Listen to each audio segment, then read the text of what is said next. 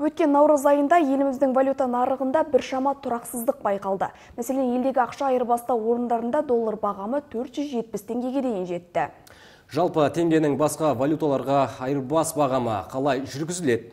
Ал қаржы нарығындағы жағдай Жамбыл облысындағы азық түлік бағасы қалай әсер етті? Толығырақ тілші тарқатсын.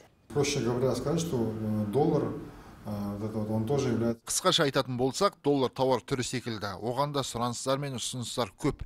Курстың бағасы жоғарыға болғанға дейін біз барлығын бақылауда ұстаймыз.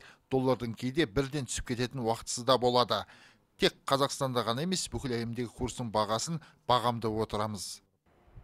Қазақстан Республикасы қаржы министрі Ерлан Жомабаевтың наурыздағы сенат отырысындағы мәліметіне сүйенсек, алдағы екі айда қазақстандықтар импорттық тауарлар бағасының төмендеуін сезінуі мүмкін.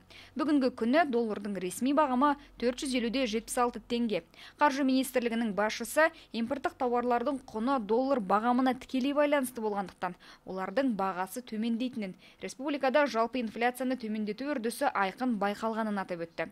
Алдағы 2 айдан кейін импорттық емес емес жергілікті өнімдер де төмендейді. Әлеуметтік маңызы бар өнім түрлерінің негізгі 19 түрі бойынша бағаның төмендеу үрдісі күтілуде. Ал біздің өңірде жағдай қалай?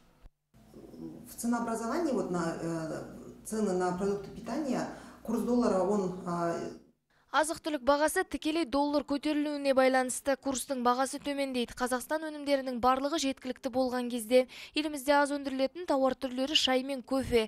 Осылардың барлығы бағаға әсер етеді. Дәл қазіргі уақытта тауардың барлық түрі жеткілікті. Қазақстан Республикасы Сауда министрлігі еліміздің дүкендеріне өнім қорлары әкімдіктер белгіленген бағамен алатын баса айтты. Тараз қаласындағы әлеуметтік маңызы бар азық түлік өнімдерінің орташа бағасы.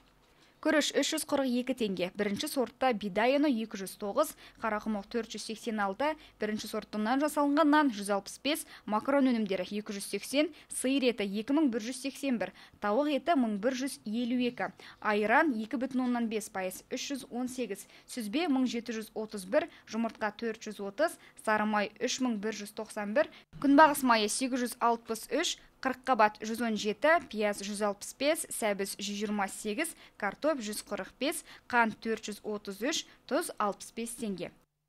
15 ақпанда ұлттық банк қазақстан инфляция бойынша 1997 жылға рекордты жаңартқанын хабарлады. Елімізде қаңтар айында күріш пен нан өнімдері қымбаттады. Шеризат бердібекқызы ғалымжан есенбаев айқын ақпарат.